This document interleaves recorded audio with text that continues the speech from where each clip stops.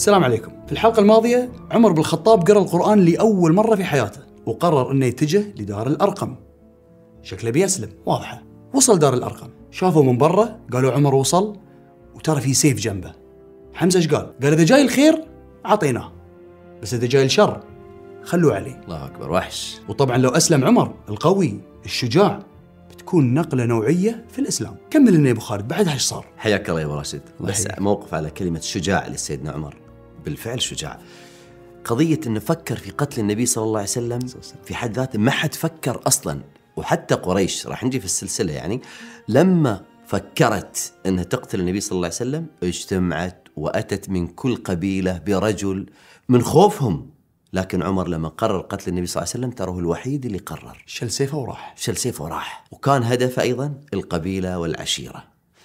دخل سيدنا عمر رضي الله عنه. طبعا أول ما دخل عمر ولا النبي صلى الله عليه وسلم أمامه النبي مباشرة بادر وجذبه جذبة شديدة وقال ما جاء بك يا عمر؟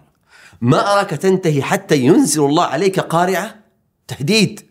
فقال عمر يا رسول الله جئت لأؤمن بالله وبرسوله. هنا من الفرح كبر النبي صلى الله عليه وسلم تكبيرة كل من الله في أكبر الله أكبر. الله أكبر. كل من في البيت علم أن عمر قد أسلم. يعني عمر أسلم. هذه من أقوى الأخبار ذيك الفترة أكيد. وبعد إسلام حمزة والآن يسلم عمر هذه قارعة أصابت قريش. عمودين. عمودين. شوف يا أبو راشد ما في حد حتى الآن في إسلامه كل هذا الاحتفال.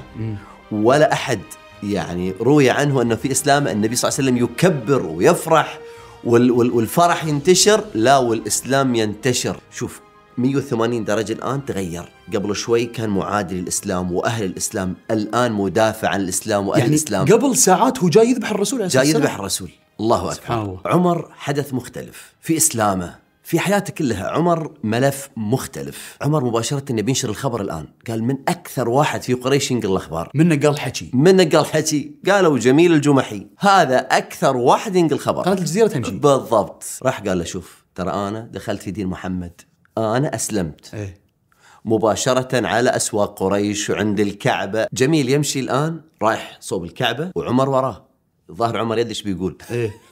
فبدأ يحدث الناس وينادي بأعلى صوته. إن عمر قد صبأ. عمر وراه قال لك كذبت ولكنني أسلمت. هي صبأ معناته إنه طلع من دين الأصنام. طلع من دين قريش ودين الأصنام. لحظة بس هالشيء يبين إن عمر يعني بعد من شجاعته نعم. إنه لا لا لا تقول صبأ. ما تكفي أنا أسلمت. قل لهم أسلمت. نعم. ويبي يوصل المعنى من الأخير. وين؟ في نوادي قريش وتجمعاتها. وهذا طبعا تحدي. هذا ما صار من قبل. لحد الآن اللي يسلم ينخش واللي يسلم يتعبد بين الجبال يتعبد بعيد عن الناس. توني بقول الآن خالد، عمر القوة، داش القوة. بقوة. يعني هذا هو عمر. الحين أنا تاكدت ليش الرسول عليه الصلاة والسلام فعلا استانس على إسلام عمر. الله أكبر. جانا القوي اللي يمشي بين الكفار ويقول لهم أنا أسلمت. الله أكبر. الله أكبر. ومن هنا بدأت عزة الإسلام. واللي كان بالسر الآن على العلن. إي صح. وما عمر طلع واعلن إي ما في أحد كان يأمن يصلي الآن عمر له خلاص تعالوا صلوا ما عندكم مشكلة. عمر موجود معانا. إحنا الآن يا رجل مثال واقعي للتقريب للشباب يعني إيه. لغة الكورة. لو ان نادي مثلا من الأندية جاب له لاعب محترف مثل ميسي مثلا. مثل ميسي. إيه. يصير في رصيد النادي هذا؟ يكبر طبعا. يكبر. يكون حتى. اللعيبة اللي حوله تزيد ثقتهم. الله. عمر لاعب محترف. أنتوا لاحظوا ان امثلة الكورة ما تروح مني من محمد عدنان ومن ابو خالد افتكرت من محمد عدنان. لكن احترافية عالمية إلى قيام الساعة. سيبقى عمر ولن يتغير طبعا قريش حسوا إنه معلش حتى لو عمر بس في تحدي لكرامتنا وهيبتنا فقاموا على عمر. ضرب. قامت بينهم. على طول. وعمر رايح لها أصلا. فما عنده مشكلة. استمر الضرب والقتال بينهم لين ما عمر تعب. واحد بروحه. فجلس وهم على رأسه. مع هذا التعب إيش قال لهم؟ يعني رجل مختلف. قال افعلوا ما بدا لكم. سووا اللي تبون سووا اللي تبونه. أنا جالس. هنا جاء شيخ العاص بن وائل رجل يعني وقور وقال للناس مه دعوه وشأنه. رجل اختار لنفسه دين. وبعدين بني عدي بيتركونكم لو ذبحتوه اتركوه. إذا ما تبون المشاكل. إذا ما تبون المشاكل اتركوه. هنا عبد الله بن عمر يقول في رواية له يقول فانخلع الناس. وانخلع الناس كأنك تخلع شيء يعني بسرعة انصرفوا لأن فيها قصة بتصير وعمر رقم مع بني عدي. واي فانخلع الناس. شوف الآن هذا الرجل اللي اللي أزال عن عمر هذا هذه الإشكالية. عبد الله بن عمر يقول أنا كنت شاب صغير فأسأل أبوي أقول له من ذاك الرجل؟ فقال العاص بن وائل. لا وفقه الله.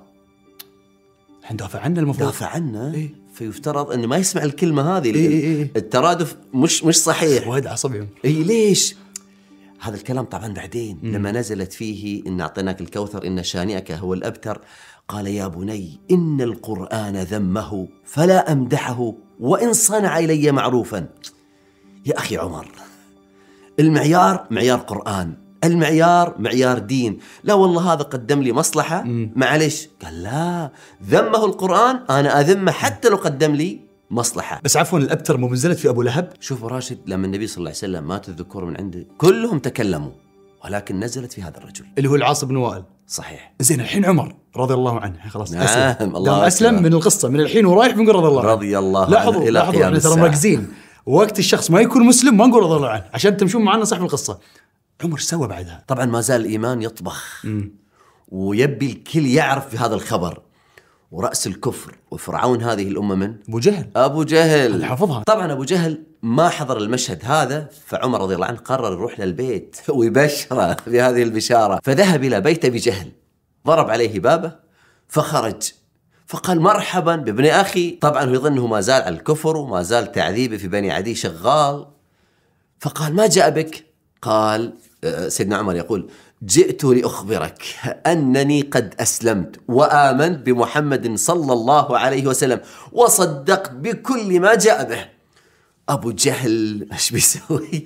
كفخ الباب؟ مثل ما نقول ضرب الباب في وجه عمر وقال قبحك الله وقبح ما جئت به. الحين أبو جهل والكلام اللي سمعناه عنه وبشجاعته اخرتها بس قال كلمتين وسكر الباب في وجه عمر؟ عمر اللي عند الباب ما عمر. قدر له. طبعا. مع إنه لو نحسبها شجاع قدام شجاع. نعم. من هذه اللحظة من إسلام عمر بدأت الشعائر الجماعية حول الكعبة تقام. يعني انتهى الخوف وبدأت للإسلام قوة. سيدنا عبد الله بن مسعود رضي الله عنه يقول إن إسلام عمر كان فتحا وهجرته كانت نصرا وإن إمارته كانت رحمة. ولقد كنا وما نصلي عند الكعبة حتى أسلم عمر. فلما أسلم عمر قاتل قريش حتى صلى عند الكعبة وصلينا معه. الله أكبر يا عمر. شوف يا أبو راشد حتى الآن ست سنوات من الإيذاء والتعذيب في المسلمين النتيجة النهائية إسلام حمزة وإسلام عمر. فالجماعة شافوا ما فايدة. التعذيب ما نفع. فلا بد أن إحنا نضيف أشياء أخرى مثلا نطلب معجزات إغراءات ترهيب ترغيب مساومات بدأوا الجماعة يشتغلون عليها. لأن يا أخوي في منطق القوة في قوة المنطق. الآن اللي مع محمد صلى الله عليه وسلم قوة المنطق. لذلك من عنده قوة المنطق لا يهزم. أحيانا الباطل تراه قوي لكنه في الحقيقة ضعيف. وأحيانا تشوف ال- الحق ضعيف لكن هو في الحقيقة قوي. شوف أخوي أبو راشد الآن الجو ليس عداوة من محمد صلى الله عليه وسلم لبيئته وقبيلته. وإنما كل ما كان يبذله ويبذله هو رحمة بهم. وهداية لهم. حتى. يكسبوا الدنيا والآخرة. وهو كان يقول لهم قولوا لا إله إلا الله تفلحوا. العرب يحبون السيادة والتملك صحيح. كان يكلمهم حتى من هذا المبدأ قولوا لا إله إلا الله تملكوا أعناق العرب والعجم. يعني هذا اللي أنتم تبونه. وبعدين أنا جيت ما باموالكم ولا مناصبكم ولا تجارتكم. فهو قاعد يطمنهم أنا كنبي ما بي أي شيء منكم. أنا كنبي بضيف لكم ان تبعتوني بتملكون الدنيا وبتملكون وبتعيشون في سعادة. حتى الآيات القرآنية في هذه الأوضاع اللي هو يعذب وأصحابه يعذبون الله سبحانه وتعالى يخاطب نبيه في أسلوب التعامل معهم. ادع إلى سبيل ربك بالحكمة والموعظة الحسنة وجادلهم بالتي هي أحسن. يعني لا تتعامل معهم بالمثل لا تعامل معهم بالأحسن. من أجل إيش؟ إنقاذ هؤلاء من النار. هذه هي الغاية التي يتعامل فيها محمد صلى الله عليه وسلم الذي قال عن نفسه إنما أنا رحمة مهدى ابو خالد النصيحة هذه اللي اللي من ربنا للرسول عليه الصلاة والسلام أن رد عليهم بالتي هي أحسن. هذا الشيء إحنا نشوفه حتى في واقعنا اليوم. يعني تلقى واحد اليوم حتى في السوشيال ميديا ممكن يغلط يقول كلمة غلط. المفروض ان نتعامل نفس معاملة الرسول وقتها صح ولا لا؟ يعني رد عليه بالتي هي أحسن، في ناس اليوم يبون ينصحونك لكن بالسب. وبالشتم وبالتنمر فيكرهون الشخص في النصيحة نفسها. والله يا أخوي هذه مش نصيحة هذه فضيحة أول شيء. وهذه تنم أيضا أن في قلبي شيء عليك. يصير في كره بينه إي لأن لا أنا أنا وضحت إن في قلبي شيء عليك. أو- ولقيت شيء اللي من خلاله اطلع اللي في قلبي. لو أنا محب لك وأبيك تتغير ما جيتك بهذا الأسلوب. ولا رديت عليك أمام الناس ولا نزلت فيك فيديو خاص. يعني أحد الأخوة يقول لي أنا وأحد الشباب شغالين في نفس الوزارة إيه. في نفس البرج أنا في دور وهو في دور. يقول وأنا أخطأت خطأ. رد علي بتويتر رسالة في تويتر يغرد. قلت له يا أخوي. بعد مو على الخاص قدام الكل بيني وبينك طبق دور واحد. واحد. إيه. يا أخوي تعال واقعد. لا. هذا ينم ان أنا أصلا في قلبي شيء. أنا في قلبي شيء ولقيت. لذلك تشوف التصرفات هذه. هنا قريش جالسة تخطط. هم بينهم وبين بعض ان امشوا واصبروا على آلهتكم. هم قاعدين يشتغلون قاعدين يخططون يدفعون أموال من أجل الباطل. وهذه رسالة يقول لك يا أبو راشد أصحاب المنابر وأصحاب الشاشات وأصحاب الحسابات يا أخوي هذا دينك. هذا دينك.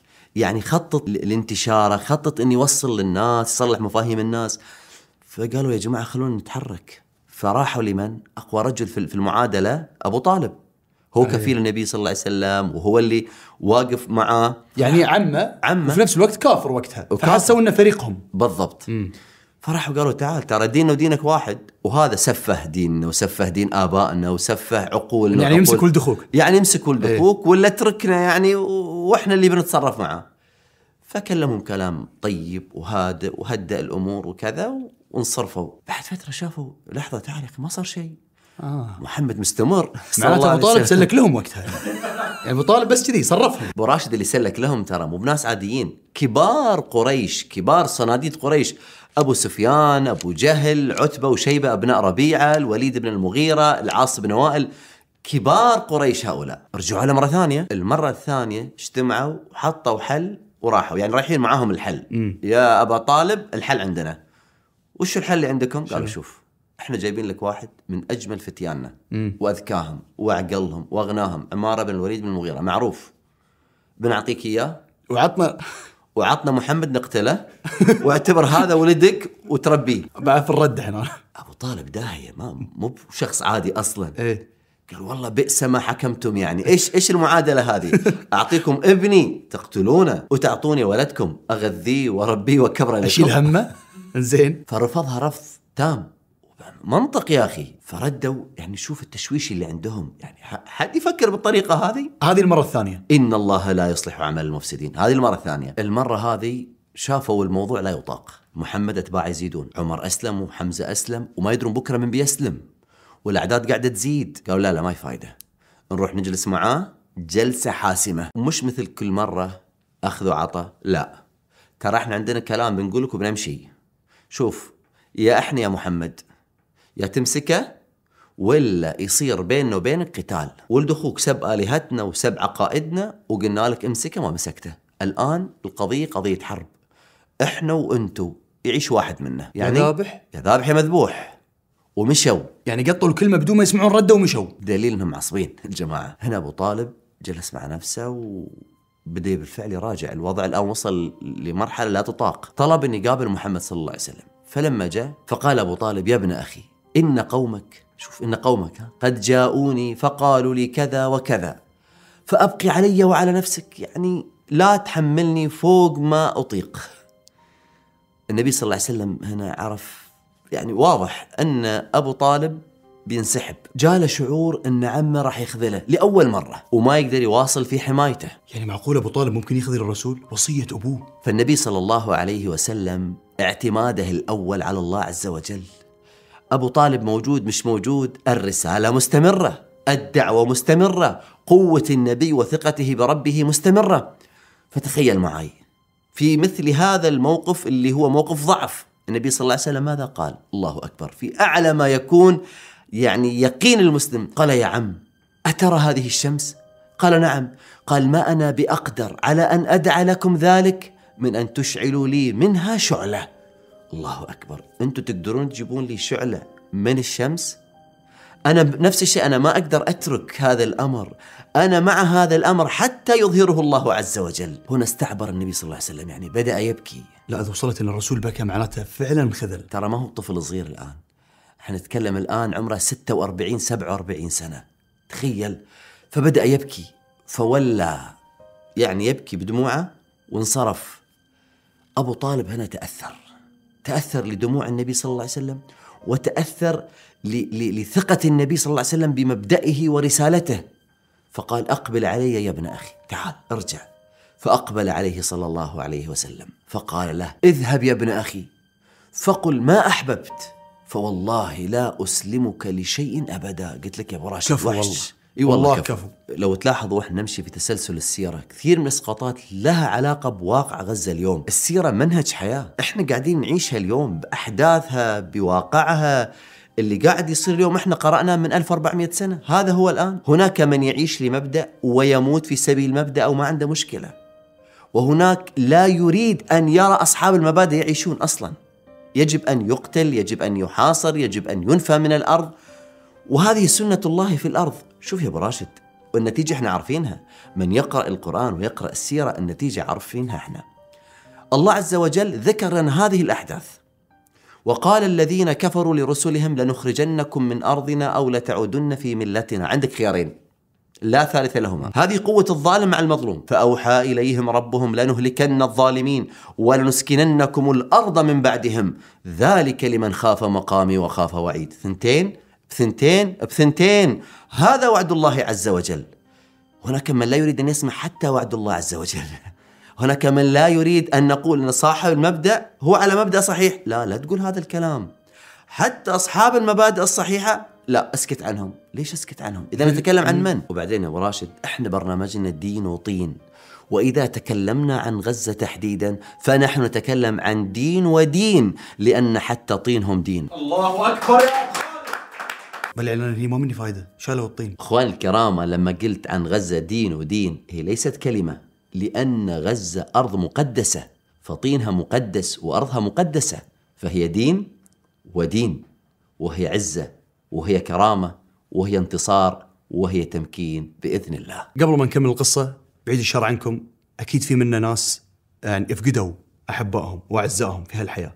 وأنت محتار شلون تقدر تعبر عن حبك لهم. الناس اللي فارقتهم. شلون تقدر تعوضهم بشيء طيب في خدمة اسمها خدمة ثواب في قطر الخيرية. خدمة عن طريقها تقدر تختار أي مشروع من المشاريع اللي فيها صدقة وتتبرع بقيمتها في ثواب صديقك أو أحد أقاربك المتوفي. كل اللي عليك تسويه أنك تختار مشروع وتهديه للي تحبه. أبو خالد هل فعلا ممكن الإنسان انه ينقذ أحد أقاربه اللي مات اوريدي ممكن فعلا انه ينقذه وهو في قبره؟ طبعا يا أبو راشد إذا مات ابن آدم انقطع عمله إلا من ثلاث صدقة جارية علم ينتفع به ولد صالح فاللي بيتصدق له الآن مباشرة وهو في معسكر الموتى تأتي هذه الهدايا فيفرح بها مباشرة تخيل وعسى الله أن يغفر لأمواتكم وأن يتقبل عملكم في ثوابهم. أحب أني أشكر بنكة خان الراعي الماسي اللي ترى تعاملاته البنكية كلها على الشريعة الإسلامية واللي ساعدنا ومكننا من أن إحنا نسوي دين وطين الموسم الثاني. شكرا لتواجدكم. ما زالت قريش تعيش حالة طوارئ حالة عدم الاستقرار. كل يوم يخسرون ومحمد يكسب. حاولوا كل الاجتماعات اللي صارت مع أبو طالب ما بفايدة. فقام واحد من كبار قريش عمرا وأذكاهم وأعقلهم وهو كان عارف الشعر وعارف في في, في السحر وعارف في كل شيء. يعني رجل يمثل قريش سفير وهو عتبة بن ربيعة. ليش ما أروح لمحمد وأكلمه وأعرض عليه بعض الأمور؟ جاء دور المساومة ها؟ الآن راح نساوم إحنا. قرروا إنهم يقابلون. الرسول عليه الصلاة والسلام direct. direct ومساومة الآن. إحنا بندفع لك تخيل بندفع لك فقالوا روح سووا أي شيء بس يوقف اللي هو فيه. فراح وجلس معه وبدأ التمهيد. فقام إليه عتبة وجلس إلى النبي صلى الله عليه وسلم. فقال يا ابن أخي. طبعا كلمة يا ابن أخي هذه للتلاطف والتقارب في وجهات النظر. دائما في البداية نبدأ بشيء متفق عليه. يا ابن أخي تقريب إنك منا حيث قد علمت في العشيرة والمكان في النسب وإنك قد أتيت قومك بأمر عظيم. فاسمع مني حتى أعرض عليك أمور تنظر فيها لعلك تقبل منها أو بعضها. فكانه يقول أنت اسمع أول شيء آه، لا ترفض قبل ما تسمع. وهذه إشكالية عندنا اليوم. أغلبنا يتكلم الكل يتكلم ما في حد يسمع ما في حد يوثق الكلام حتى يعني يحصل على إجابة. فيقول النبي صلى الله عليه وسلم يا محمد اسمع هذا العرض ولعلك تقبل شيء منه. شوفوا يا جماعة شوفوا الأدب. خلينا نتعلم. خلينا نتعلم من من سيد الأدباء محمد صلى الله عليه وسلم. يقول أسمع يا أبا الوليد. يا أبا الوليد أنا أسمع. تفضل يعني تكلم. قال يا ابن أخي رجع الآن يعيد نفس العبارة. إذا كنت بهذا الأمر يا محمد تريد مالا جمعنا لك من أموالنا حتى تكون أكثرنا مالا. لحظة. المال ما يعطى بهذه السهولة ولا يعطى بهذه الطريقة ويبون يجمعون له المال كله ويكون هو أغناهم. طب ليش؟ انتبه يا أبو راشد قريش ما كان عندها هذا المال أصلا كانت فقيرة. كونوا سمعة والكعبة الشريفة وزيارة القبائل لها صار عندهم شيء من المال. خوفهم أن محمد بهذه الدعوة هذه القبائل وهذه الزيارات ما تجي ويرجعون للفقر اللي كانوا فيه. ما زال الحديث مستمر. قال له شوف العرض الثاني. وإن كنت تريد بهذا العمل بهذه الرسالة اللي تكلم الناس فيها تريد شرفا سودناك علينا. يعني صرت أنت أفضل واحد فينا ما عندنا رأي ما عندنا قرار سلم ولا حرب ما نقطع بدونك. يعني خليك أنت السيد علينا. اسمع العروض يا أبو راشد. العرض اللي بعده وإن كنت تريد بهم ملكا ملكناك علينا. يعني يبون يغرونا بالفلوس يبون يغرونا بالملك قالوا له ملكنا. خليك قائد علينا خليك ملك. بس اترك اللي قاعد تسويه. وإن كان هذا الذي يأتيك يعني الوحي والرسالة و... إن كان هذا الذي يأتيك مس ولا شيء من الشياطين إحنا نجيبك من يعالجك حتى تبرأ منه. شوف التلاطف في الكلام ها؟ يقول له وقد الإنسان يمرض يا محمد. يعني أمر طبيعي ها؟ يمكن فيك مشكلة نبي حد يقرأ عليك. إي يقرأ عليك يطلع اللي موجود فيك. وإحنا هالخدمات كلها مجانية. شوف الآن يا أبو راشد خلينا نتعلم الأدب الراقي والإتيكيت المحمدي صلى الله عليه وسلم. عتبة بن ربيعة قاعد يقدم عروض جدا سيئة. خلينا نعطي مثال يا أبو راشد. على لو رحنا لرئيس دولة قلنا له إحنا بنعطيك فلوس آه أي قرار بنتخذه لازم نرجع لك بنعطيك زوجة جميلة وإذا صرت مريض بنعالجك بس اترك الحكم. إيش تقول أنت؟ أنا أكلمك عن رئاسة ما أكلمك عن نبوة. معناها الرجل اللي رايح عقليته جدا سطحية. ومع ذلك محمد صلى الله عليه وسلم ينصت. سمع الكلام للنهايه وقال له من البداية راح أسمع كل شيء. وسمع. وهذه أيضا أدب لنا. زوجتك عندها مشكلة قاعدة تتكلم. يا أخي هذه كلها تبربر. لا يا أخي خلها تتكلم. خلها تتكلم. ترى أنا بحكم شغلي في الاستشارات أحيانا تجيني حالة أجلس معاها أقعد أدون أدون المشكلة أكتشف في النهاية أن هذا الإنسان وهذه الإنسان جايين يبون إيش؟ يفضفضون. بس اسمع لهم. هو عارف الحل. هو ما يبي يقول لك الحل لا لا هو عارف الحل بس يبي يتكلم يبي م. واحد ينصت لي يسمع له. ترى يا جماعة هذا جزء من العلاج جزء من الحل إن أنا أسمع لك.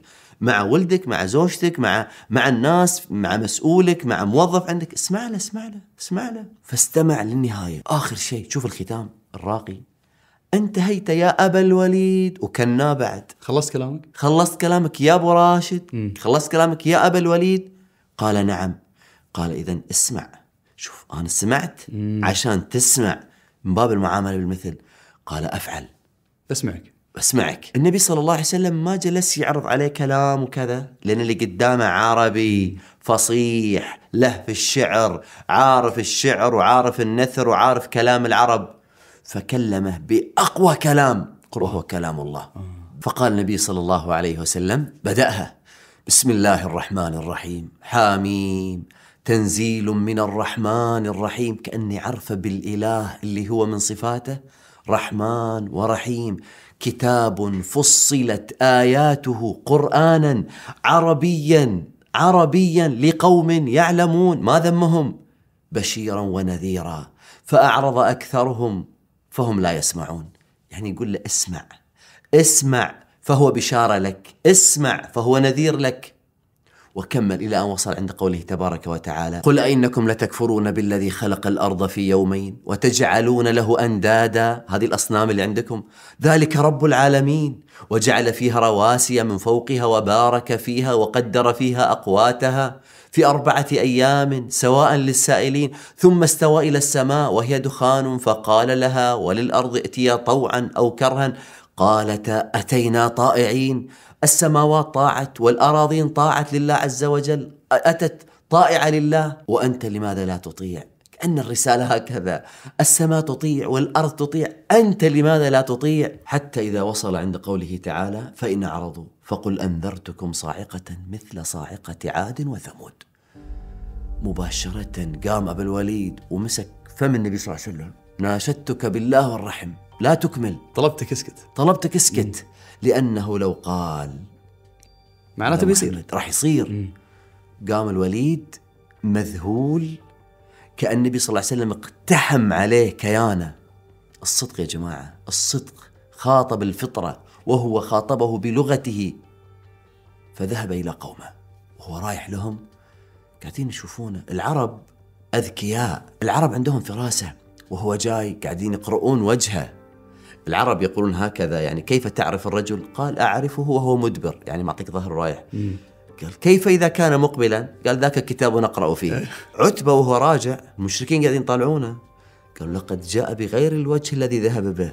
تغير. رجع وجهه متغير. اقتحام صار على قلبه وعلى مشاعره على تفكير على كل شيء. يعني هم كانوا شادين الظهر فيه عتبة. طبعا. وهو رايح مبتسم والقوي وإن أنا سيطر. والله أنا اللي مختاريني. نعم. سبحان الله الرسول عليه الصلاة والسلام رد عليه بآيات. الله أكبر. بالكلام اللي أقوى منه. وليست أي آيات. وضح له النظام الكوني إن السماوات الأرض الجبال الأنداد اللي عندكم يربطها بالسماء والأرض بعدين يجيب له ذكر الصنم اللي أنت صنعته من خشب. أفلا يتدبرون؟ أفلا تبصرون؟ أفلا تعقلون؟ ولغتك. يعني اختيار ذكي للآيات. جدا. زين يعني راح لهم وجهه متغير. شو اللي صار؟ قالوا ما وراءك يا أبا الوليد. في شيء إحنا قاعدين نشوفه بس خلينا نسمع. قال ورائي أني والله قد سمعت قولا ما سمعت مثله قط. والله ما هو بالشعر. هو شاعر. ولا هو بالكهانة. يا معشر قريش أطيعوني واجعلوها بي. خلوه في وجهي إيه؟ خلوها في وجهي. يا معشر قريش أطيعوني أطيعوني. اسمعوا كلامي هالمرة. واجعلوها بي. خلوا بين هذا الرجل وبين ما هو فيه واعتزلوه اتركوه. فوالله ليكونن لقوله الذي سمعت نبأ. هذا بتصير له قصة. هذا مو إنسان عادي. والكلام اللي انقال عادي هذا بيصير له خبر بين الناس بين القبائل. عتبة أعطاهم خيار حلو. قال إن تصبه العرب فقد كفيتموه بغيركم. يعني لو العرب اقتلوه ولا اسجنوه ولا أسروه انتهى الموضوع. وإن يظهر على العرب إذا انتصر على العرب فملكه ملككم وعزه عزكم. وكنتم أسعد الناس به. شوفوا يا جماعة الآن الخيارات والله أنا قاعد أحللها. اشوفها منطقية بحيث إن إذا انتصر يعتبر نصر لكم. وإذا ناس غيركم قتلوا أنتم سلمتم. وإن أصابه العز فعزه عز لكم عزكم إيه؟ طيب ليش ما تقبلون؟ إيش قالوا؟ قالوا لقد سحرك محمد آه ما ردوا. المربع الأول ما في فايدة. لقد سحرك محمد طيب هذا اللي أنتم تقولون سحرك محمد هل هو طفل؟ أنتم اخترتوا من؟ الأحسن أفضلكم الأحسن وأفضلكم إذا كان هو محمد استطاع أن يسحر عيل أنتم من باب اولى أنكم تنسحرون أيضا هنا الرجل هذا يعبر عن سلبية في داخله وأنه مش صاحب قرار ليش قال لهم والله هذا رأيي فاصنعوا ما بدا لكم. طيب وانت؟ هو خاطبك انت وخاطب من وراك انت إيش موضوعك الآن؟ لا والله أنا مالي خص. إنما أنا رجل من قومي. على طول اهتز من كلامهم من قالوا له إنه سحروك اهتز. أنا توقعت عقب ما قال سألتك بالله و- و- والرحم. إنك تسكت؟ انه خلاص. رسالة وضحت لي وعرفت أنا على ضلال. أول ما ارجع أقول لهم يا جماعة ترى أنا مع الحق. جون معاي ولا أترككم؟ قال له خلاص سكت وأنا معاكم. يعني جربوا الايذاء وما نفع. وما نفع. وعقبها جربوا إنهم يروحون لأقرب الناس له اللي هو عمه. مرة ومرتين وثلاث. وجربوا المساومات وجربوا الإغراءات وقالوا له هذه الفلوس وهذا الملك وهذه السلطة. بس خلاص فكنا واسكت. وجابوا أكبرهم عتبة وراح للرسول نفسه وواجهه وجه. بوجه ورجع لهم وجهه متغير. يعني هم خسروا في كل المعارك هذه. إيش سووا بعدها؟ صحيح. ردوا يا راشد المربع الأول الإيذاء وهذه حجة الضعيف. بالضبط. بدأت قريش تخرج الغل والحقد وكل أنواع التنكيل على المسلمين. التعذيب مختلف. ضاقت عليهم مكة وطنهم اللي هم فيه ضاق عليهم. بدأوا يسألون يا رسول الله إيش المخرج؟ أول مرة. لأنه زاد عليهم التعذيب. يا رسول الله ما المخرج؟ إلى أين يا رسول الله؟ يعني نريد نريد حل المشكلة اللي إحنا فيها. يعني أذوهم أكثر من أي أذية سبقت. لأنه ما بقى عندهم سلاح يستخدمونه خلاص. أبو طالب والحوار والنقاش وكل هذا ما منه فايدة. رجعوا مرة ثانية للتعذيب. الآن كأن الإسلام في أزمة، أزمة حقيقية بين القائد والأتباع. الأتباع تحملوا لكن زاد عليهم. وما قاعدين يشوفون انفراج، عدد المشركين كبير وعدد المسلمين قليل وما عندهم حيلة. ضيق- ضيقوا عليهم وايد. ضيقوا عليهم. النبي صلى الله عليه وسلم هو القائد. وقلنا من قبل يا أبو راشد إن القائد لازم يعرف دوائره ودوائر الآخرين. والفرص مش فقط اللي متاحة هنا الفرص المتاحة في أماكن أخرى. فالنبي صلى الله عليه وسلم كما أنه رحمة للعالمين فهو لازم يعرف هذا العالم شلون عايش. إيش الحكومات إيش الدول اللي حوله فصلى الله عليه وسلم من خبرته السابقة هجراته إلى الشام وإلى اليمن وخبراته. جرب إنه يطلع من الأزمات من قبل. جرب. فقال المسلمين إن في الحبشة ملكا لا يظلم عنده أحد. فاذهبوا إلى بلاده حتى يجعل الله لكم فرجا ومخرجا ما أنتم فيه. إذا هذا انفراج. وهذا باب ممكن. لكن اختيار أن هذا الرجل عادل. ما يظلم. ما يظلم أحد. يا أبو راشد هو الآن سيرسل من؟ أصحابه. سيرسل بنته سيرسل زوج بنته راح يرسل عمه. ما أرسل مجرد أن يجرب على بعض المسلمين إذا الوضع زين لا لا جرب أهل بيته. وراح يطرشهم ويرسلهم في مكان مأمن أنهم لن يظلموا وإلا هم في مكان ظلم.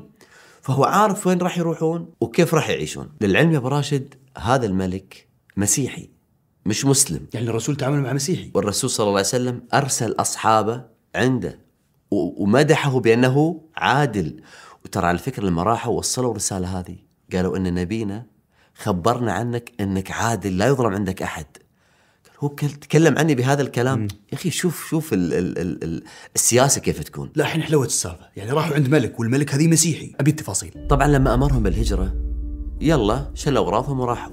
لا لا القضية ليست كذلك. أنا قلت لك من أول يوم في تسلسلنا ما للسيرة في شيء يستوي عبث. أيوه ما في شيء. طيب من المتحدث الرسمي؟ من القائد؟ من المسؤول؟ يرجعون لمن؟ فريق. فريق. في له قيادة المتحدث الرسمي هو جعفر بن أبي طالب. هو اللي راح يتكلم. Okay. هو اللي راح يناقش إذا صار لأنه رايح لمكان في ديانة أصلا وفي في آه، قساوسة في رهبان. القصة ما هي مجرد إنك داش عزبة ولا داش بر. لا رايح لدولة. دولة دولة. وسبحان الله يا أبو راشد. قبل الهجرة هذه تنزل سورتين. سورة مريم وسورة الكهف. لحظة أنا قاعد أفكر في السبب. مريم الملك مسيحي. صحيح. سورة م... صح؟ صحيح. لأن أكيد المسيحيين يحبون سيدتنا مريم. صحيح. الكهف ليش؟ الكهف تتكلم عن الهجرات وتتكلم عن مآلات الأمور وقد ترى أمر في يعطيك انطباع لكن مآلاته غير. وانت عارف سورة الكهف وما إيه. فيها من كل من جمعة. أسرار. في اللي نقراها في كل جمعة. وما فيها من أسرار. كانت هناك نظرة لكن المآلات كانت غير. وهنا قتل وكانت ال... وفي النهاية السفينة وكان فيها أيضا.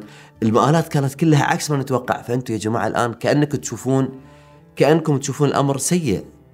تركتوا الوطن وتركتوا الأهل وغادرتوا لا لا سيجعل الله بعد ذلك مخرجا. بدأت الهجرة. جماعات جماعات. المجموعة الأولى 18 المجموعة الثانية 85 حدود المئة شخص الآن غادروا. تقريبا ثلث الإسلام غادر. البعض يقول يعني هم هاجروا فرارا بالدين. هم هاجروا للضيق صحيح. لكن هناك من يقول لا. لو أن أهل مكة كمسلمين أبيدوا جميعا هناك من مسلمين منهم خارج مكة. صحيح. موجودين وين؟ موجودين في الحبشة. احتياط. احتياط. وبقوا هناك والنبي صلى الله عليه وسلم يثق بأصحابه وأنهم سينقلون صورة الإسلام كما ينبغي وما أرسل أي واحد. مثلا من اللي سافروا إلى الحبشة سيدنا عثمان بن عفان رضي الله عنه. وزوجته رقية بنت النبي صلى الله عليه وسلم. أسامي مهمة. أسامي مهمة. من أهل بيت النبي صلى الله عليه وسلم. ابو خالد الحين قلت بيهاجرون من مكة للحبشة. الحين معلش عشان بس أنا والمتابعين نكون عارفين الرحلة شلون كانت. وين الحبشة وين بالضبط؟ أفريقيا. عن من مكة البحر. لأفريقيا. عن طريق البحر. تحديدا القرن الأفريقي اللي هي اليوم إثيوبيا. آه إثيوبيا. زين سؤال. الحين هم راحوا. نعم. قريش خلوهم؟ يعني خلوهم يروحون يسافرون بكل هدوء؟ قريش طبعا علمت بهذه الهجرة. تتركهم؟ لا. شوف يا أبو راشد أنا أحيانا أتعلم من أهل الباطل كيف يصبرون وكيف ينفقون. جهزوا داهية من دهات العرب عمرو بن العاص. ودفعوا له فلوس وهدايا وكنوز. يوديها وين؟ معاه للحبشه يعطيها الملك عشان يطردهم مرة ثانية ويرجعهم. يعني لحقوهم عشان يأذونهم هناك. نعم. انطلق عمرو بن العاص بهداياه والذهب والجواهر إلى صديقه اللي هو الملك. آه الملك رفيجة. الملك رفيجة لأن عمرو بن العاص كان تاجر فرايح راد. فيعرف الطريق ولذلك أرسلوه تحديدا. هو داهية العرب ذكي ومحاور ويعرف وأيضا عنده علاقة بالملك فدخوله عليه سهل. الملك شو اسمه؟ اسمه أصحمة النجاشي. طبعا يا أبو راشد عمرو بن العاص وصل مباشرة إلى الحبشة مباشرة إلى الملك وسلم الهدايا والهدايا كانت كثيرة ليست كعادته كأن الموضوع فيه رشوة. فدفع له وجلس. طبعا هي هدية والنجاشي قبلها بحكم العلاقة والصداقة اللي بينهم وإن كانت شوي زيادة هالمرة. وكان مع عمرو بن العاص رجل يسمى عبد الله بن ربيعة. فقال عمرو للنجاشي أيها الملك إنه قد صبا إلى بلدك منا غلمان سفهاء. شوف أول شيء تكلم سفه الناس وأنهم صبيان وأنهم غلمان يعني كأنهم أطفال صغار سفههم. فارقوا دين قومهم ولم يدخلوا في دينك. شوف جابه معاه. فصار عمرو بن العاص والنجاشي ضد هذه الفئة. الحين عمرو يقول حق الملك انه انه جوك اوريدي يعني هم وصلوا. صحيح. هم وصلوا الحبشة. آه يعني هم وصلوا بس ما قابلوا الملك. لا ما لهم علاقة بالملك هم أصلا. هم أقاموا في البلد هذا وعايشين حياتهم. آه يعني عمرو وصل بعدهم بس يبي يسوي لهم مشكلة. يبي يطلعهم فقالوا شو أروح حق اللي بيني وبينه علاقة اللي هو الملك. جميل. استغل العلاقة هذه عشان يعمل كنسل على إقاماتهم. إيه ويطلعهم. ويطلعهم. هنا أيضا واصل عمرو وقال كلام أيضا خطير وفيه دهاء. شو يقول؟ يقول اللي يرسلونه لك ترى أشراف قومهم من آبائهم وأعمامهم وقبائلهم وعشائرهم حتى تردهم لبلدهم وهم أدرى فيهم. شوف يا أبو راشد دهاء عمرو. البطارقة اللي هم حول الملك بعد دفهم بهدايا ها؟ بخشيش رشاوة ها؟ عشان يصدقون كلام عمرو مباشرة. فمجرد ما انتهى عمرو من القصة على طول إيش قالوا؟ صدقوا أيها الملك. قومهم أعلم بهم وأعلم بما عابوا فيهم. أسلمهم إليهم يردوهم إلى بلادهم وإلى قومهم. البطارقة هم يعني المسيحيين يعني مطاوعة المسيحيين. جميل. اللي هم القساوسة يعني. اصطلح حلو. ليه المفروض الملك إنه يقتنع بكلام عمرو. إيش سوى؟ إيش ردة الفعل؟ كلام منطقي. لولا أن هذا الملك حسب المواصفات اللي ذكرها محمد صلى الله عليه. وسلم إنه ما يظلم عنده أحد، يعني لازم يسمع من؟ الطرفين. الطرفين حتى لا يظلم أحد، ولأنه ذاق المر والظلم فما يحب يظلم. النجاشي زعل غضب شديد على البطارقة تحديدا، أنتم على أي أساس تتخذون قرار الطرف الثاني ما تكلم؟ قال لا والله لا أسلمهم ولا أكاد قوما أي لا أخادع قوما جاوروني نزلوا في بلادي واختاروني على من سواي حتى أدعوهم فأسألهم ماذا يقول هذان في أمرهم؟ فإن كانوا كما يقولان أسلمتهم إليهم ورددتهم إلى قومهم وإن كانوا على غير ذلك منعتهم منهما وأحسنت جوارهم ما جاوروني أنا أشهد انه عادل صدق رسول الله هنا طلب المسلمين. تعالوا يا جماعة أنتم جايين بلدي وجالسين. معلش حياكم. بس تعالوا في قضية في شكوى عليكم الآن.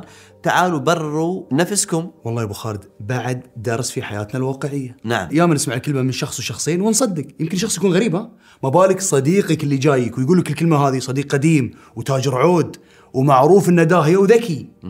بعد ما سمع بكلامه ولا بكلام اللي معاه ولا بكلام مستشارينه اللي يعتبرون القساوسه قلنا طاوعة المسيحيين. نعم. سكتهم كلهم وقال أنا ما راح أظلم حد راح أسمع من الطرف الثاني. والله العظيم انها حكم حكم اليوم تنقال والله. ومشى على مبدأه. لو أنا جالس أحلل الموقف بقول يا أخي خلاص آه، النجاشي راح يتخذ قراره مباشرة. لأن الكلام اللي قاعد يقوله عمرو كلام منطقي. آه، واللي حوله متفقين عليه. واللي حوله متفقين. والمجموعة هذه إيش راح أستفيد منهم أصلا؟ يا أخي خلي يرجعون وخلاص، مع ذلك قال لا، طبعا النجاشي طلب المسلمين جو. ما يعرفون ليش. السالفة. أول ما شافوا عمرو بعد هم مو مو بسهلين. هم دهات. عندك جعفر في الطرف الثاني. إيه. الكفه هنا عمرو والكفه هنا جعفر. جعفر. أول ما جعفر شاف عمرو درش السالفة. معناته في مناظرة بتقوم.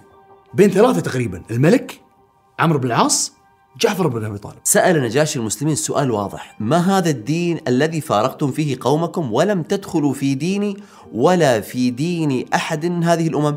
يعني أنتم أصبحتم بلا دين الآن؟ بدأت المناظرة الآن. يعني الحين بنقيم من كلامه أقوى؟ كلام عمرو ولا جعفر؟ إيش قال جعفر؟ أيها الملك كنا قوما أهل جاهلية نعبد الأصنام ونأكل الميتة. ونأتي الفواحش ونقطع الأرحام ونسيء الجوار ويأكل القوي منا الضعيف فكنا على ذلك حتى بعث الله إلينا رسولا منا نعرف نسبه وصدقه وأمانته. أيضا يا أبو راشد ما أذكى وما أجمل كلمات جعفر الآن.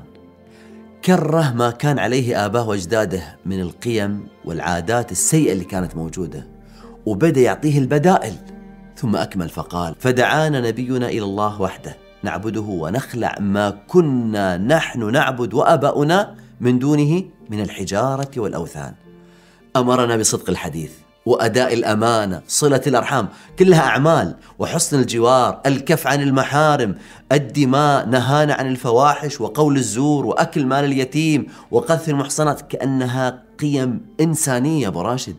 قيم أي إنسان يسمع فيها يقول لك والله هذا هو. ما ناكل مال يتيم أمرنا نعبد الله وحده. لا نشرك به شيئا. أمرنا بالصلاة أمرنا بالصيام أمرنا بالزكاة فصدقناه آمنا به فاتبعناه. على ما جاءنا به فعبدنا الله وحده. وحرمنا ما حرم علينا. وأحللنا ما أحل لنا. فعدا علينا قومنا. الاثنين ذيلا واللي وراهم في مكة. فعذبونا وفتنونا عن ديننا. ليردونا إلى عبادة الأوثان من دون عبادة الله تبارك وتعالى. وأن نستحل ما كنا نستحل من الخبائث. فلما قهرونا وظلمونا وشقوا علينا وحالوا بيننا وبين ديننا خرجنا إلى بلدك. شوف الآن ينسبونها إلى بلدك. واخترناك على من سواك. ورغبنا في جوارك. ورجونا ألا نظلم عندك. أيها الملك. يعني لو تلاحظ خالد انه شرح الإسلام في جمل قليلة. صحيح. وكسب ثقة الملك في انه يمدح الملك بصفات صحيحة هي موجودة في الملك. عمرو بن العاص خسر في الجولة الأولى وهو طالع بدي يخطط لجولة الغد. قال والله بكرة أجيب لهم يعني فخ ما يطلعون منه. ثاني يوم عمرو بن العاص من الصبح الظاهر ظاهر نتريق مع الملك. وقال أيها الملك إنهم يقولون في عيسى بن مريم قولا عظيما فأرسل إليهم فاسألهم عما يقولون فيه. فلما دخلوا عليه قال لهم ما تقولون في عيسى بن مريم؟ يعني يبي يكره الملك فيهم غصب. فقام جعفر وقال نقول فيه الذي جاء به نبينا صلى الله عليه وسلم هو عبد الله ورسوله وروحه وكلمته ألقاها إلى مريم العذراء البتول فضرب النجاشي يده على الأرض. يا الله تأثر. هنا بكى النجاشي حتى بل لحيته. عندما بكى النجاشي الاساقفه أيضا بكوا. عندما سمعوا هذه الآيات. ثم قال النجاشي إن هذا والذي جاء به موسى لا يخرج من مشكاة واحدة. يا شباب النجاشي يتأثر بالقرآن وعتبة بن ربيعة قبل قليل يتأثر بالقرآن. وبعد ذلك الجن سيتأثرون بالقرآن. ويقولون سمعنا قرآنا عجبا يهدي إلى الرشد فآمنا به. طيب إحنا إيش وضعنا مع القرآن؟ متى سنتأثر به؟ متى سنتغير من خلاله؟ ثم قال النجاشي لجعفر ما عدا أي ما تجاوز عيسى بن مريم ما قلت يعني اللي قلته هو نفسه اللي قال عيسى بن مريم عندنا. اذهبوا فأنتم الآمنون. من سبكم غرم من سبكم غرم يكررها عليهم. يعني أنتم في أمان. فما أحب شوفوا شوفوا الكلمة يا جماعة. فما أحب أن لي جبلا ذهبا وإني آذيت رجلا واحدا منكم. ردوا عليهم هداياهم فلا حاجة لنا بها. يا الله شوفوا يا جماعة فوالله ما أخذ الله مني الرشوة حين رد علي ملكي. أفآخذ الرشوة وأنا فيه؟ الإنسان اللي ينظلم ما يحب يظلم غيره. قرار النجاشي ترى مو بسيط. يعني فعلا رجل ما يظلم. موضوع إنه يقطع علاقته في عمرو بن العاص رفيجة تاجر العود الذكي الداهية وجايب له الهدايا والذهب والفلوس. قال ردوا ردوا كل شيء. وهذه نصيحة فعلا. إذا الله سبحانه وتعالى رزقك واعطاك اللي ما اعطى غيرك لا تنسى فضل عليك. شوف الملك هذه وهو مسيحي في وقتها ما نسى فضل الله. براشد المؤمن كالغيث حيثما وقع نفع. لما راحت هذه المجموعة لقريبة من المئة إنسان إلى الحبشة صنعوا سمعة طيبة بين الناس بأخلاقهم بتعاملهم. ما كانوا عالة كذلك على المجتمع. بدأوا يصنعون الصناعات الجلدية البسيطة وكانوا يبيعونها بسعر بسعر بسيط. حتى المجتمع هناك بدأ يحبهم. وفعلا كل واحد يسافر هو سفير لبلاده وسفير لدينه فهم بيض الوجه بالفعل يا أبو راشد أنت سفير. يجيني واحد يقول لي لا لا لا لا أنا امثل نفسي. أقول له لا أنت ما تمثل نفسك.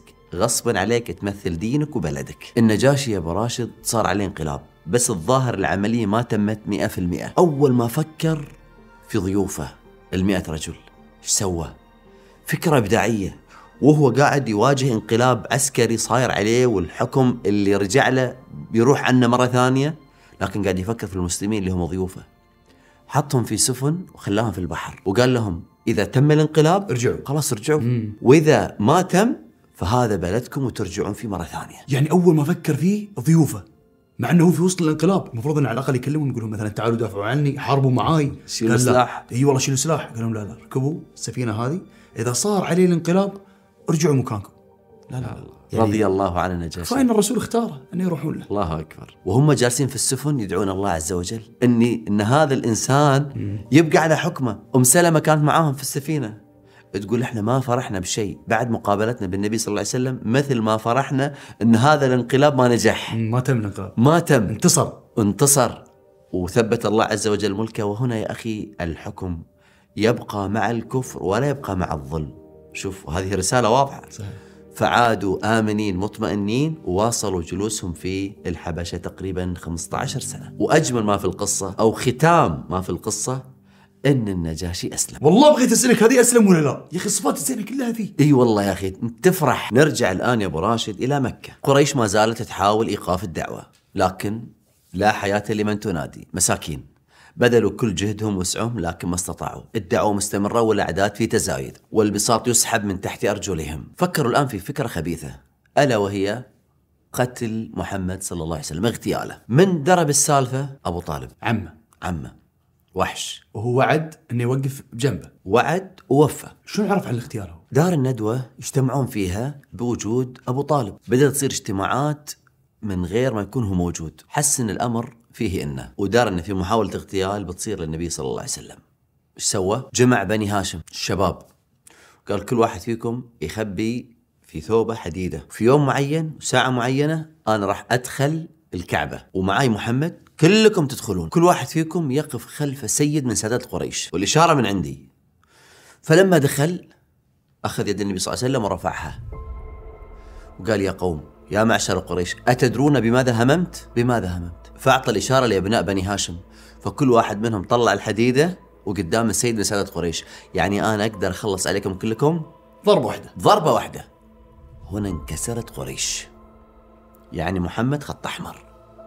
ما تقربون صوبة. يا أبو خالد أنت الحين قاعد تزعلني والله. يعني كل ما تذكر موقف مو كل مواقف أبو طالب رجولية أنا وايد زعلان انه ما أسلم.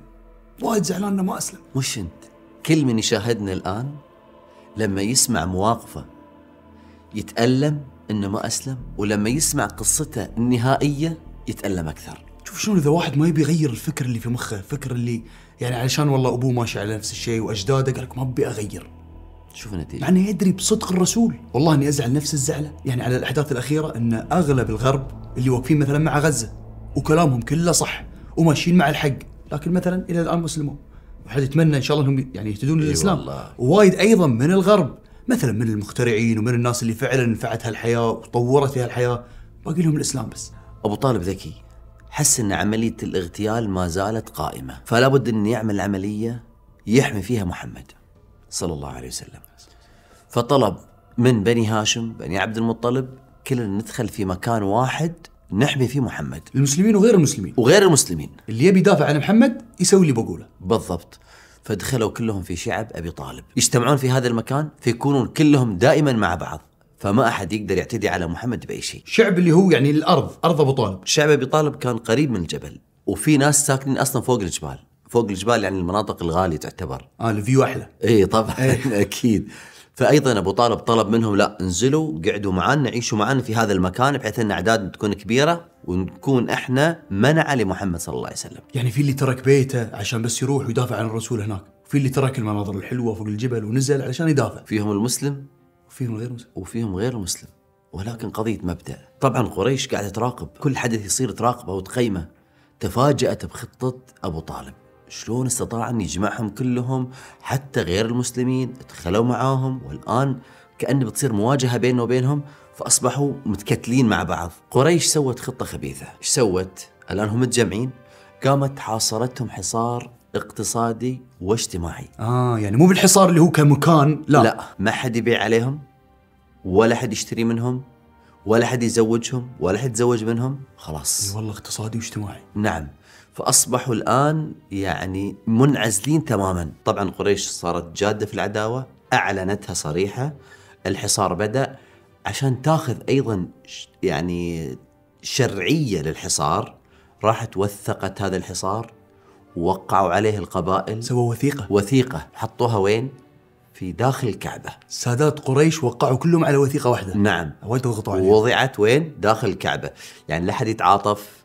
لا أحد يجي يقول والله أنا بغير رأيي لا الجميع وقع والجميع وضعت وين؟ داخل الكعبة يعني كأنها تاخذ شيء من القدسية وشيء من الرسمية شوف إنه شيء ما راح. وهذيل أهلهم وضافوا بند أن ممنوع حد يسمع للداعية اللي يدعو إلى الله عز وجل. يعني يدرون يأثر. ممنوع. الله أكبر إيه إيه. ممنوع تسمع. وكل من سمع تأثر. كل من سمع تأثر. يعني اجين نفس الشيء اللي قاعد يصير معنا الحين. لاحظ نعم. إحنا أوقات نحط فيديوهات مثلا عن فلسطين وعن الحق. نعم. يجونك المنصات؟ يسكرون. يسكرون. يسكرون الفيديو اللي ننشره أو الصور ما يبون أي حد يسمع. وكانه ال- ال- البند اللي ضافوه في الوثيقة. بالضبط. السيرة هي منهج حياة. تدري يا أبو راشد كم استمر الحصار على بني هاشم؟ ثلاث سنوات. ثلاث سنوات. لا زواج ولا تجارة ولا حتى استماع لهم. في الثلاث سنوات هذه ما في أحد من قريش أسلم. توني كنت بقول لك يعني معناته ما في حد أسلم. ما ما, في. تأثير ما في تأثير. ما في تأثير. يعني بالفعل غيبوهم عن المجتمع غيبوهم عن الدنيا. وصل بهم الحال إنهم صاروا يأكلون ورق الشجر. ما في أكل. ما في أكل. مرة ثانية. اللي قاعد يصير في غزة. نعم. ناس ما تاكل. وناس وصلت مرحلة إنها تاكل العلف عشان شنو؟ عشان تبقى غزة قوية ابو راشد اللي يعيش من أجل قضيه يفترض يكون عنده استعداد ان يموت في سبيلها مبادئ ولا ما يعد إنه صاحب مبدأ وصاحب قضية. طبعا هذا الحصار ممكن ينفك في أي لحظة بشرطين. أي واحد فيهم إحنا موافقين. إما تسلمون محمد نقتله صلى الله عليه وسلم أو يترك دعوته خلاص. يا أبو راشد إذا أردنا أن نوصف اللي صار خل ناخذ هذا الكلام من النبي صلى الله عليه وسلم وهو يوصف لنا حاله. يقول أوذيت وما يؤذى أحد وجعت وما يجوع أحد. ولقد مر علي ثلاثون يوما في الشعب.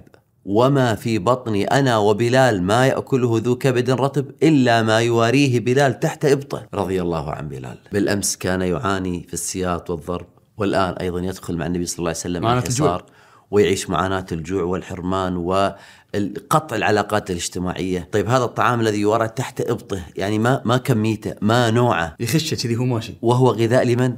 لمحمد صلى الله عليه وسلم. هنا يا أخوي أبو راشد في السيرة عزاء لكل مسلم. وأيضا عزاء لإخواننا في غزة.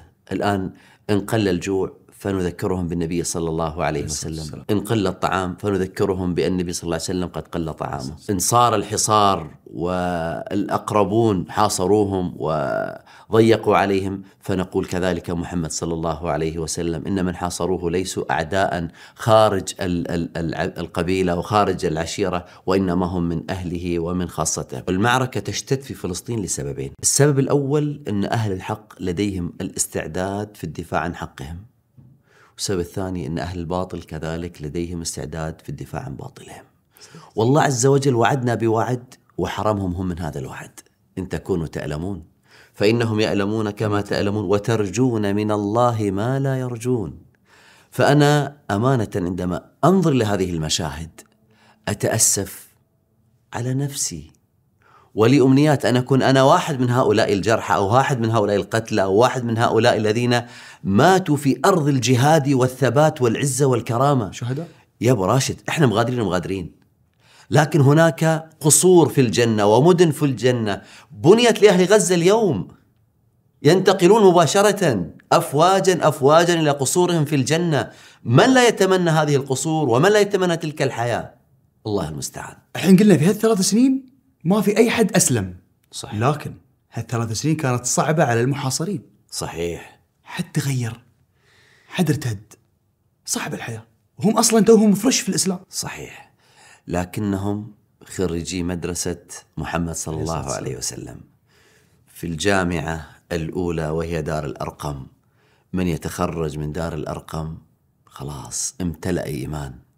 ها هم رجال الإسلام الذي انبنى عليه ونمت عليه شجرة الإسلام إلى قيام الساعة. فجوابي لسؤالك لم يرتد مسلم خلال الثلاث سنوات عن دينه. صبروا طبعا. يا أبو راشد في ناس عندهم مبدأ يعني العقل هذا مبدأ مالي مبدأ مادي مبدأ إني أنا أعيش مرتاح وخلاص.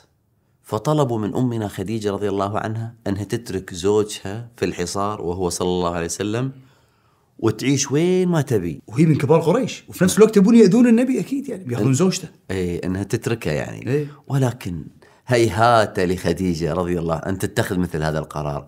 عاشت معه صلى الله عليه وسلم. في الجوع والحصار وفي كل شيء وهي عندها الخيار أنها تخرج ولكن استحالة. المسلمين الآن انقسموا لثلاث مجموعات وكل المجموعات يعيشون الابتلاء والاختبار. ثلث منهم يعيش الغربة وين؟ في الحبشة. الثلث الثاني يعيش الحصار في شعب أبي طالب مع النبي صلى الله عليه وسلم. الثلث الثالث ما زال يعيش التنكيل والتعذيب من قريش في مكة. آه لأنه مو بكل المسلمين من بني هاشم. فبني هاشم كانوا مع الرسول عليه الصلاة والسلام. اللي غير بني هاشم في مكة يواجهون ال- الأذى والتعذيب. بس في بعضهم في الشعب مثل بلال. صحيح. وفي بعضهم أصلا ما زالوا عبيد وما أعتقوا أصلا فهو ما يقدر يغادر على كيفه. هنا يا أبو راشد تنزل بعض الآيات سبحان الله كأنها من سجين إلى سجين. في سورة يوسف ويوسف كان سجينا إلى محمد وهو محاصر وكأنه في السجن. سبحان الله تأتي هذه الآيات بلسم على النبي صلى الله عليه وسلم وأصحابه إنه من يتقي ويصبر فإن الله لا يضيع أجر المحسنين ويقول الله تبارك وتعالى حتى إذا استيأس الرسل وظنوا أنهم قد كذبوا جاءهم نصرنا فنجي من نشاء ولا يرد بأسنا عن القوم المجرمين. اذا هذه آيات مثبتات للنبي صلى الله عليه وسلم ومن معه. الحين الرسول عليه الصلاة والسلام في هذا الوضع الصعب والجوع والحصار هل هو ضامن إنه ما راح يموت مثلا؟ يعني هل هو عارف؟ هل هو عنده القوة إنه يعرف؟ برشت هناك من مات في بداية الدعوة يعني لا رأى نصر ولا تمكين ولا شيء انتصر ولا ما انتصر؟ آه صح فهمتك. معناته. النصر مو بشرط مربوط بالدنيا. مو بشرط.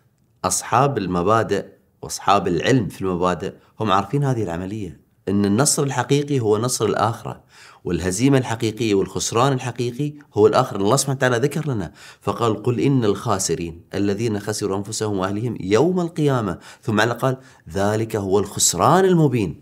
فأكبر خسارة الإنسان أن تخسر نفسك يوم القيامة وأكبر ربح وأعظم ربح هو ربح يوم القيامة. المجاهد يجاهد في سبيل الله ويرجو النصر ويرجو التمكين. لكن لو ما تم ذلك هو منتصر ولا مش منتصر؟ هو منتصر, منتصر. يعني اليوم لو جينا نقيم هذا الكلام اللي نقوله على أخواننا وأهلنا في غزة منتصرين ولا مخذولين؟ لا والله منتصرين. ما نشك في ذلك. هم لا شك أنهم منتصرين. حتى لو خسروا الدنيا تقصد؟ فهم حتى لو منتصرين. بيته تهدم وولده قتل. النصر الأكبر. هو منتصر أصلا. وأعدائنا ترى يعرفون. اعدائنا يعرفون ويعرفون إيش معنات شهادة ويعرف ان لما يقتل واحد يطلع وراء ألف ولما يهدم بيت يبني الحقد ونية زوال هذا الكيان عند ألف مليون مسلم مش واحد واثنين. هو في حيرة الآن مثل ما قريش كانت في حيرة مع النبي صلى الله عليه وسلم الآن المغتصب في حيرة شو أسوي؟ أنا كل اللي عندي أسلحة فتاكة ومصلحة. قتلت هدمت سجنت يعني ال- ال- المؤبدات بالعشرين والثلاثين. أنت تفكر فيها تقول يعني يحكم على شخص يعيش بيننا يعني 200 سنة 300 سنة مؤبد. يعني تفكر فيها شلون؟ بس ما نفع. طيب شنو في النهاية؟ يا جماعة هناك مبادئ وهناك قيم. هناك مبادئ وهناك قيم. راسخة كرسوخ الجبال. هذه ما تتزعزع. وإن ذهب جيل سيأتي جيل أقوى. والله كلامك يا أبو خالد اليوم يعني مثل البلسم على قلوب الغزاوية وعلى قلوب الفلسطينيين. فعلا تهون عليهم يعني الواحد يعني إن شاء الله إنهم عارفين الكلام ذي ولكن أنت تذكرهم فيه إن النصر الأكبر ترى هو بعدين. الله أكبر. الحين نجي للسؤال المهم. الحصار هذه شلون خلص؟ شلون انتهى؟ وما يعلم جنود ربك إلا هو. الله عز وجل قد ينصر الإسلام بالرجل الكافر. ثلاثة يا أبو راشد من كبار قريش. الله عز وجل استخدمهم لهذا الأمر. هم المطعم بن عدي وهشام بن عمرو وأبو البختري بن هشام. الثلاثة ذيلا اتفقوا فيما بينهم أن هذه الوثيقة وثيقة ظلم ويجب أن تمزق. عزموا الثلاثة أن هذه الوثيقة تقطع خلاص. طبعا القصة طويلة وأبو جهل كون فريق ثاني ضد الأمر هذا لكن سلم الأمر الواقع. لكن تعال شوف. أبو طالب قال لهم ابن أخي أخبرني أن الكتاب هذه الصحيفة أكلتها الأرض إلا كلمة واحدة اللي هي باسمك اللهم. روحوا شوفوا. إن كان كذلك ننهي هذه الصحيفة وننهي هذا الحصار. طيب الآن إذا راحوا وتأكدوا أن بالفعل الأرض قد أكلت الكتاب ولم يبق إلا باسمك اللهم. شوف ترى يصير؟ لا إذا ما أسلموا مسخرة. بعد ما أسلموا. لا والله. راحوا وشافوا ال- ال- الصحيفة مأكولة. وأيضا ما أسلموا. وباسمك اللهم موجودة. وباسمك اللهم موجود. ولا أسلموا. ولا أسلموا. شوف يا أبو راشد الآن انتهى ال- الحصار. يعني انتصروا. يعتبرون انتصروا. يعتبر هناك انتصار. وما ارتد أحد. وحافظوا على إيمانهم وعلى ثباتهم وعلى أخوتهم. خرجوا. ولكن في اثنين أهم اثنين في حياة النبي صلى الله عليه وسلم. بعد الله عز وجل. سند في الخارج أبو طالب وسند في البيت خديجة. الاثنين هذيلا طلعوا من الحصار مرهقين لكبر السن والوضع المعيشي اللي عاشوه. في الحصار. الآن النبي صلى الله عليه وسلم خرج من الحصار وسنبدأ بعام الحزن تقولي لماذا؟ لأن أبو طالب وخديجة ماتوا في أسبوع واحد. يعني هاي نقطة تحول في حياة الرسول عليه الصلاة والسلام. صلى الله عليه يعني بلوه الحصار لحين مخلصة توها جات بلوة وفاة عمه اللي يعزه وطبعا سندة. أكيد وسندة. وأكيد انه زعل زعل كبير إن عمه راح وهو مش على الإسلام. الصحابة كلهم متألمين مش أنا وأنت بس. تخيل أن هذا الألم تم مع أبو بكر الصديق لين ما أسلم أبوه. شيبة. لما جاء وأسلم قال تمنيت أبو طالب هو اللي أسلم. يعني أبو بكر شايلها لأن يدري نفسه كم يحب أبو طالب وكم كان يتمنى. ولكن هذا قدر الله. طبعا في الأوضاع هذه ما زال عدوه شرس. مات أبو طالب بدأ الإيذاء على طول. ولذلك النبي صلى الله عليه وسلم يقول ما أذيت. يعني كل اللي صار قبل ما عدى إيذاء كما أذيت بعد وفاة أبي طالب. سند. السند يعني هو في عز ضيقته وزعله على موت عمه ماتت زوجته. شوف المصايب ورا بعض. ابو خالد إحنا عشنا القصة الحين وصارت في شخصيات نحبها وشخصيات نكرهها. أنا عشت الوضع. وإحنا اليوم أو نهاية حلقة اليوم ودعنا شخصيتين نحبهم. صح إن أحدهم مش مسلم اللي هو أبو طالب لكن ودعوا كذي. أنا ما توقعت ان يعني بنختم الحلقة بوفاة أهم شخصيتين. شوف يا أبو راشد قبل شوي كنا نتكلم سبحان الله كأنها مقدمة لهذا إن نصر المؤمن ليس في الدنيا في الآخرة. خديجة رضي الله عنها قدمت المال والمواقف والعمر وكانت كانت كفو والله. والله العظيم إنها كانت كانت تنحط على الرأس طبعا. كانت سيدة قريش وكانت تاجرة ودافعت عن الرسول. الحين قاعد استرجع أنا استرجع بدايتها مع الرسول شلون عرفته. يعني مش من فراغ النبي صلى الله عليه وسلم ما نسى ولا لحظة من لحظاته. وعمرها يعني عفوا عمرها 65 نعم. يوم كانت محاصرة نعم. يعني عمرها كان 63 و64 و65 نعم. وقت الجوع والتعب. وماتت بعدها. وماتت بعدها. لكن جاء النصر لخديجة. تقول لي وين النصر أقول لك يأتي جبريل من السماء إلى النبي صلى الله عليه وسلم ويقول يا محمد إن الله يقرأ خديجة السلام. راشد ما هو ملك من ملوك الدنيا مبلغك السلام؟ أي والله. لا هذا جبريل من رب العزة من رب العزة نازل خصيصا لخديجة. يا محمد إن الله يقرأ خديجة السلام. ويبشرها بقصر في الجنة. إيش هذا القصر؟ من قصب. لا صخب فيه ولا نصب. لحظة لحظة لحظة لحظة. صخب إزعاج ثلاث سنوات حصار ازعاج قبلها إزعاج واتهامات. كله كان إزعاج. لا لا خلاص يا خديجة. أنت الآن ما في إزعاج. انت الآن في قصر. انت الآن تهني. خلاص انتهى. هذا كله انتهى. هذا هو النصر الحقيقي النصر العظيم. نعم. اقتضت حكمة الله تبارك وتعالى أن يتوفى السند الخارجي وهو أبو طالب ثم السند الداخلي وهي خديجة رضي الله عنها. وكانها رسائل إلى النبي صلى الله عليه وسلم أنك لله وبالله فأنزل الله تبارك وتعالى عليه واصبر لحكم ربك فإنك بأعيننا. اللي صار كان نقطة تحول في حياة الرسول عليه الصلاة والسلام. هو سمي بعام الحزن فنهاية حلقتنا كانت نهاية حزينة. لكن الحلقة الجاية راح تسمعون عن هدية كبيرة جات من الله سبحانه وتعالى إلى الرسول. فخلكم متابعين. وبكذي وصلنا لآخر حلقة في رمضان ونقول كل عام وأنتم بخير. وعيد الله عليكم مبارك إن شاء الله. راح يكون بإذن الله في توقف ثلاث أسابيع بعد العيد وبعدها إن شاء الله راح نكمل سلسلتنا. واعذرونا على هذا التوقف. أدري إنه ممكن في ناس تتضايق إنه بتوقفون وايد لكن إن شاء الله بنرجع لنكمل سلسلة أجمل سيرة علشان تبقى معانا للتاريخ.